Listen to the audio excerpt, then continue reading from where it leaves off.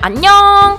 오늘 꿈이랑 함께할 말씀은 시와 찬송과 신령한 노래를 부르며 감사하는 마음으로 하나님을 찬양하고 골로새서 3장 16절 하반절 말씀. 아멘. 한 번 더. 시와 찬송과 신령한 노래를 부르며 감사하는 마음으로 하나님을 찬양하고 골로새서 3장 16절 하반절 말씀. 아멘 언제나 찬양으로 노래하며 하나님께 감사할 수 있는 친구들이 되기를 바라며 내일 또 만나. 안녕